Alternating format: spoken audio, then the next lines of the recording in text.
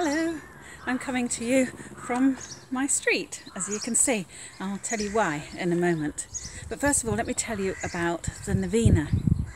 Uh, novena is the time between uh, the Ascension of our Lord, which um, is on Thursday evening, and uh, Pentecost. And there are nine days in between Ascension and Pentecost. And those nine days are from the very earliest times, traditionally a time of prayer, um, preparation, uh, sharing bread together.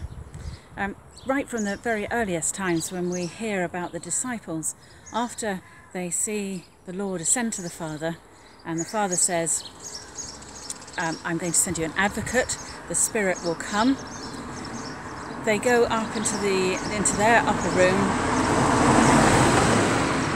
where they meet together and they stay in prayer until such time as Pentecost Day when the Holy Spirit comes and they don't know what's going to happen to them in those early days. So they're there praying for the advocate to come, for the kingdom to come.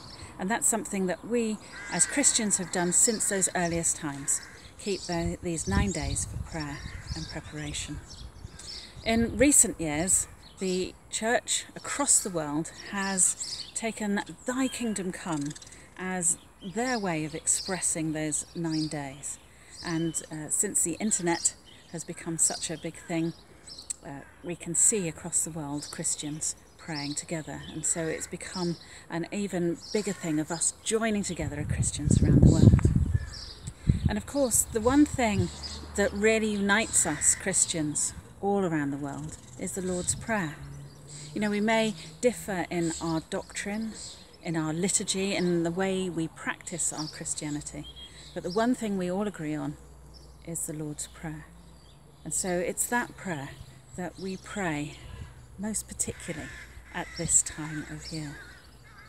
Now, the reason I'm in my street is because we are to pray, Thy kingdom come for everyone on this planet, for the whole world wide. We pray that the Spirit comes and God's kingdom comes to this world.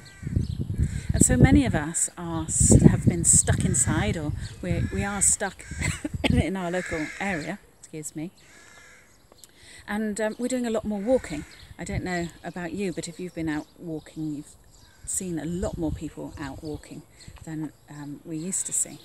And that's great for our fitness and for our mental health.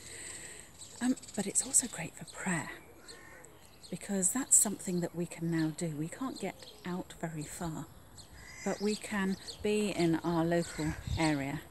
And as we're walking, walking past houses, past schools, maybe as a car passes or an ambulance, um, we can pray for those people in those houses.